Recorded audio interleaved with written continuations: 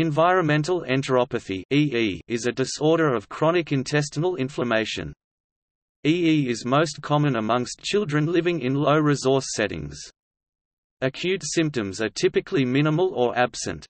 EE can lead to malnutrition, anemia iron deficiency anemia and anemia of chronic inflammation, growth stunting, impaired brain development, and impaired response to oral vaccinations. The cause of EE is multifactorial, Overall, exposure to contaminated food and water leads to a generalized state of intestinal inflammation.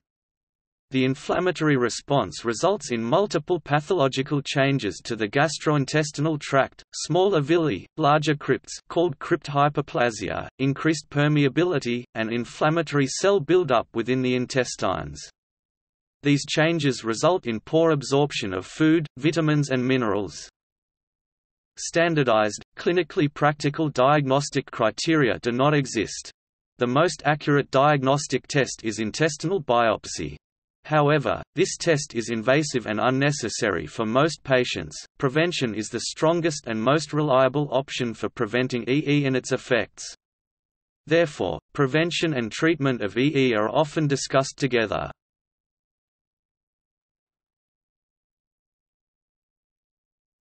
Topic: Signs and symptoms Environmental enteropathy is believed to result in chronic malnutrition and subsequent growth stunting low height for age measurement as well as other child development deficits.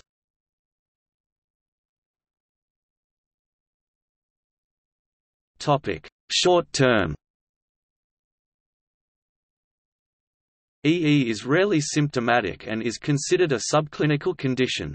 However, adults may have mild symptoms or malabsorption such as altered stool consistency, increased stool frequency and weight loss.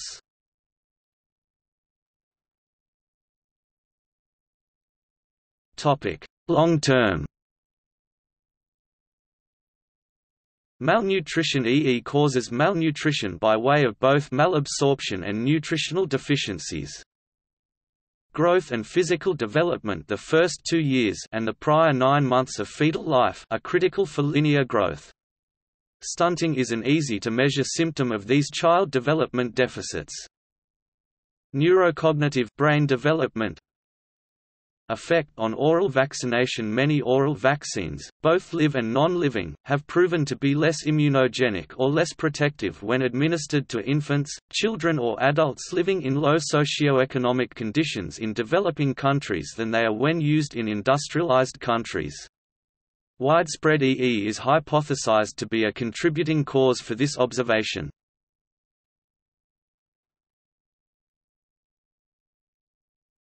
Topic: Causes The development of EE is multifactorial, but predominantly associated with chronic exposure to contaminated food and water. This is especially true in environments where widespread open defecation and lack of sanitation are common.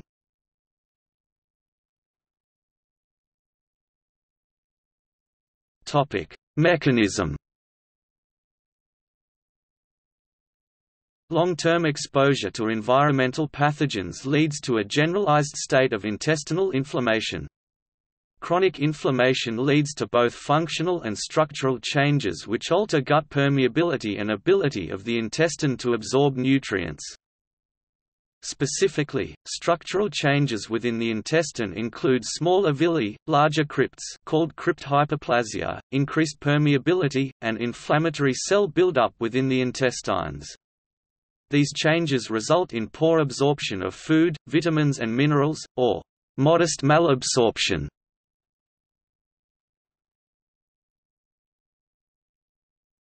Topic: Diagnosis.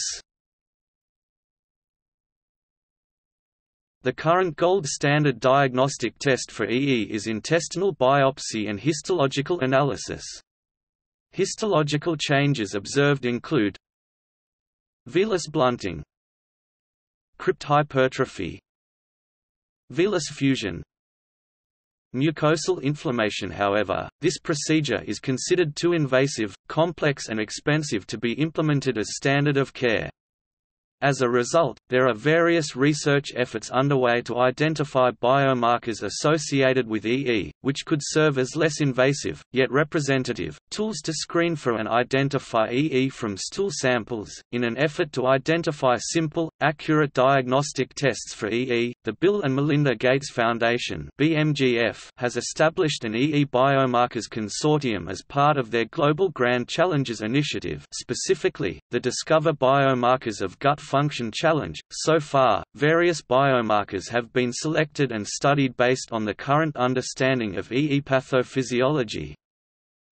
Gut permeability, barrier function, dual sugar permeability, lactulose to mannitol ratio, intestinal inflammation, alpha-1 antitrypsin, neopterin, myeloperoxidase, exocrine hormonal markers bacterial translocation markers endotoxin core antibody markers of systemic inflammation alpha-1 glycoprotein C-reactive protein CRP it is postulated that the limited of understanding of EE is partially due to the paucity of reliable biomarkers, making it difficult for researchers to track the epidemiology of the condition and assess the efficacy of interventions.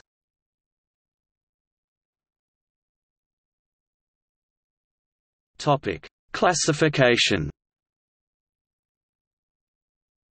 In the 1960s, researchers reported a syndrome of non-specific histopathological and functional changes to the small intestine in individuals living in unsanitary conditions. This syndrome was observed predominantly in tropical regions across Latin America, sub-Saharan Africa and Asia. The geographic distribution of the syndrome led to the original term of tropical enteropathy, sometimes also tropical jejunopathy. Following initial reports, further investigation revealed that these symptoms were not specific to tropical climates. For example, individuals in more wealthy tropical countries, such as Qatar and Singapore, did not exhibit these symptoms. Similarly, subsequent studies have shown this condition to be common across the developing world, closely associated with impoverished conditions but independent of climate or geography. As a result, the term, environmental enteropathy was introduced to specify that this condition is not only found in tropical areas and is believed to be caused by environmental factors.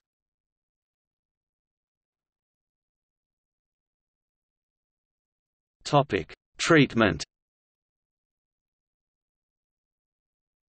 Treatment focuses on addressing the central components of intestinal inflammation, bacterial overgrowth and nutritional supplementation.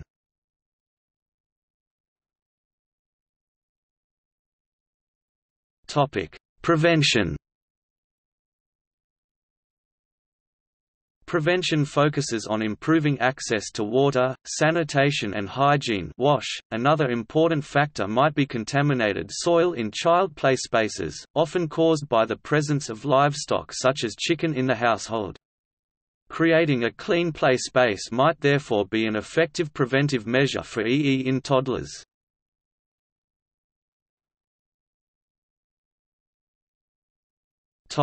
Research initiatives There are multiple large-field, multi-country research initiatives focusing on strategies to prevent and treat EE. The MAL-ED project The Alive and Thrive Nutrition Project the Sanitation, Hygiene and Infant Nutrition Efficacy Shine trial clinical trials. Gov Identifier, NCT 01824940 The WASH Benefits Study